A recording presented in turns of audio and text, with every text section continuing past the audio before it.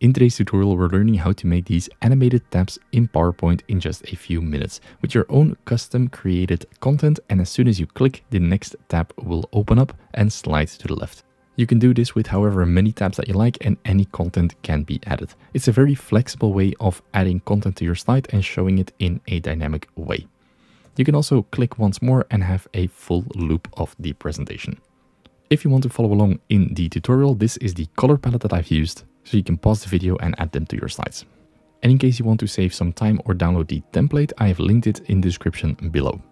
This tutorial consists of multiple parts. First, I will create the individual tabs with the content. Then I will learn how to stack them on top of each other. Next, we will animate them using the morph transition. And finally, there's also an alternative that if you don't have morph, you can also do it with older versions of PowerPoint. And we're starting from a blank slide. First thing we want to do is want to go to the design tab go to variants, and here we choose the color palette that we like. In our case, it's the bright blue. Go to the home tab again, and now let's format the background. Right click, format background, and we want to go for a gradient fill. I'm choosing this radial gradient fill, so the bottom one, where we have slightly lighter tint in the middle and gradually gets darker towards the outside, but it's very subtle. Next, we want to add a rectangle. So go to shapes, add a rectangle, and drag it from the top right corner about three quarters of the way to the left. We're going to remove the outline and give this the darkest fill, or the second darkest fill of blue. Next, we want to add a text box. So select text box and type in the number 1. Select it, and we're going for the font chunk 5. You can choose whichever font you like, but I kind of like this font for this effect.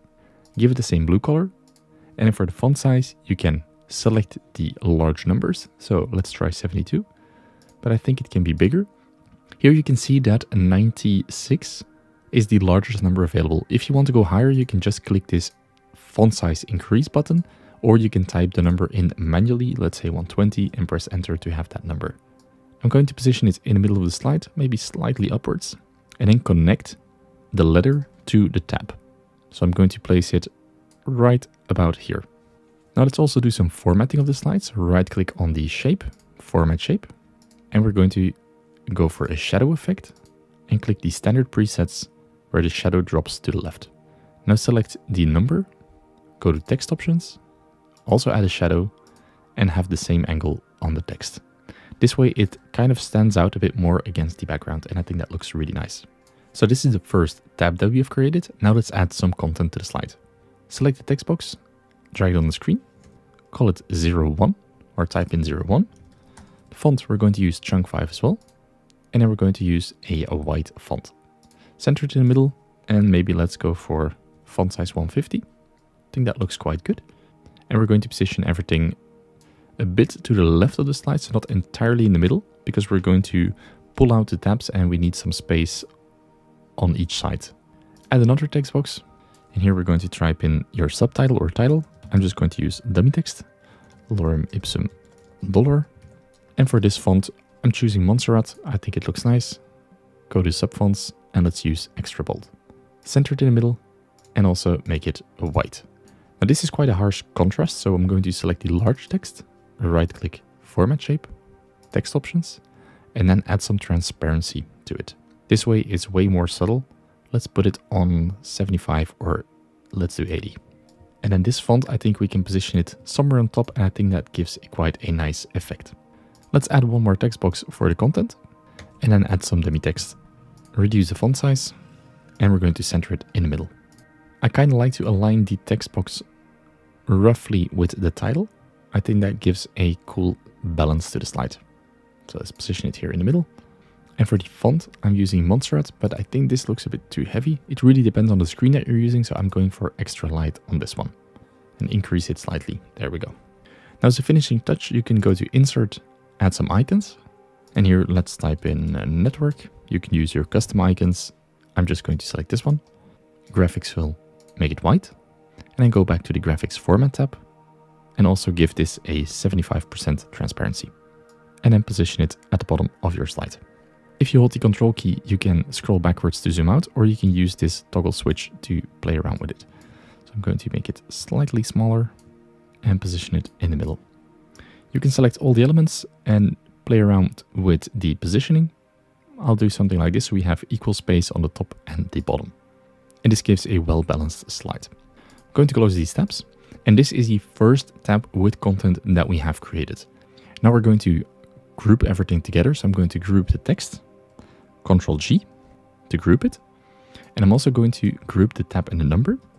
And then I'm going to select everything. So both the tab group and the text group and group that one as well. You can do it in once, but I like to split it up. So if you have changes afterwards, it's easy to select the groups. Now we're going to duplicate the slide.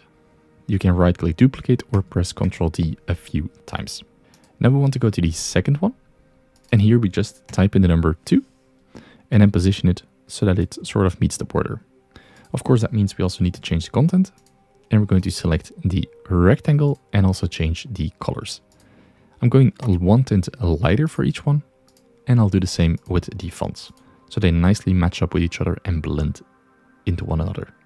Go to number three, change the number. You can also play around with the arrow key to just nudge it to the side. Change this number as well. And also make this one one tint lighter. Oh, that has to be two tints because we're on number three already. And same for the text. And number four, we do the exact same thing. Change content. And here you will see if we choose that lightest color, it's going to be this one. Same for the text. We can see that the contrast is a bit too small. So I'm going to select the text elements and I'm going to give it a, a dark fill. So you can choose whichever one you like. I think the darkest one will look nicest. And then this one, of course, we want to give it transparency again. Let's try 80%. And do the same with the color, so give that the dark color as well, with the icon. And this is a lot more readable. Now you can see that we have one tab for each, or one grouped item for each tab. And that is the result that we want for now. And now let's look at how we can stack them on top of each other. So for stacking them on top of each other, I like to duplicate the first slide. So we always have a working file to work with. And then go to number two, the second tab, Control C or Control X and Control V on the previous one, and then just drag it to the side. This way we have two grouped items, one is at the bottom, and two we're now overlaying on top. I'm not looking at the position on the slide, so you'll see this one overlaps the slide border. That doesn't matter, we're just going to position the tabs. So here we have some spacing between the first tab and the number.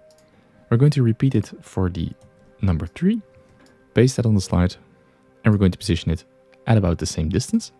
And I repeat it one more time for number 4, and then pull that group to the side. There we go. Now we hold the control key and scroll backwards or use that toggle shift key.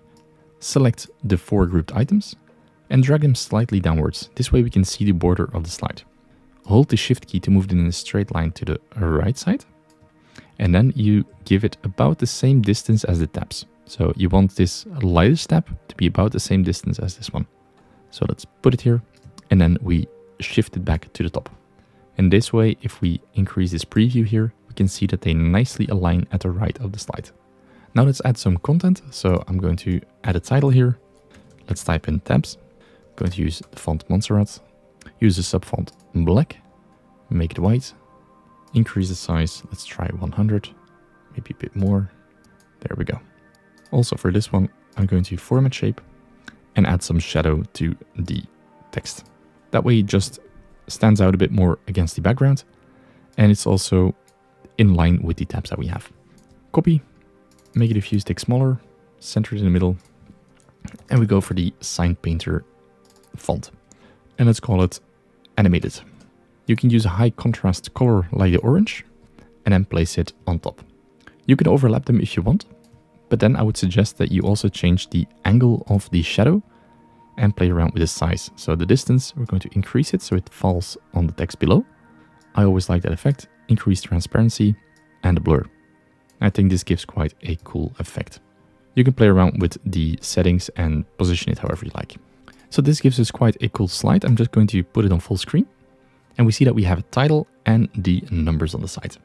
What I'm going to do is I'm going to right click and send those to back, send to back. That way they are behind all the layers, or they should be. So let's do that again. Send to back. In this way they are behind all the different layers.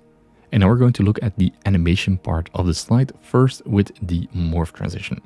And for that, we're going to duplicate the slide. Let me get rid of those. And now on the first step, I'm going to shift the text to the right so it disappears behind everything. And I'm going to select the first step and pull that one out. I'm going to pull it out until it's about the same size to the right, the distance as to the left of the content, so it's nicely balanced.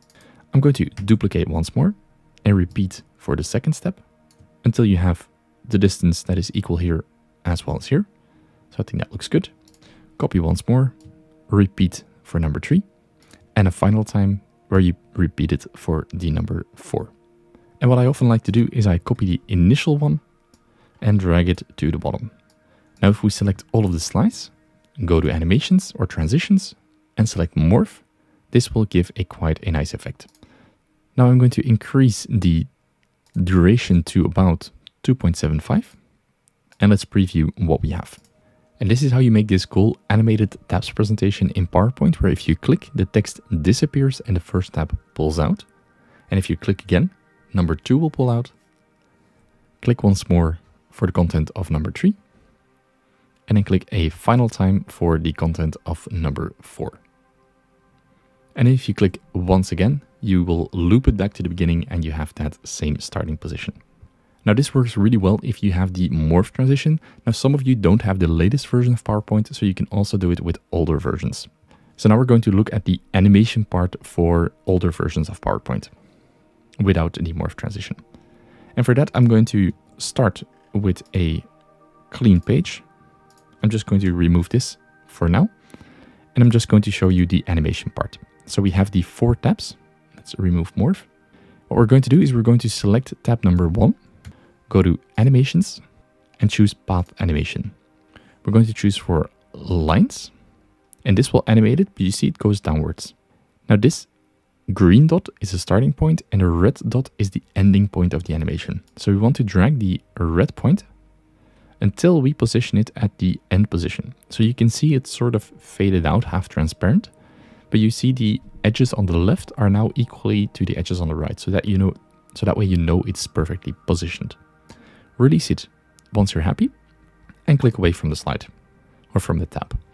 We select the tab number one again, and now we click on Animation Painter. This will copy the same, the exact animation, and you see if we hover over one, it will give us a different cursor, but if we hover over two, we can click and it will paint the animation.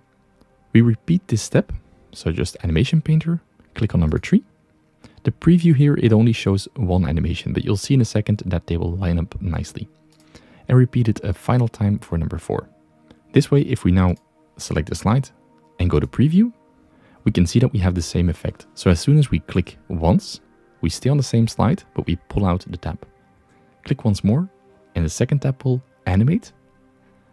Third time, and then the final click, a fourth time, the tap will animate as well.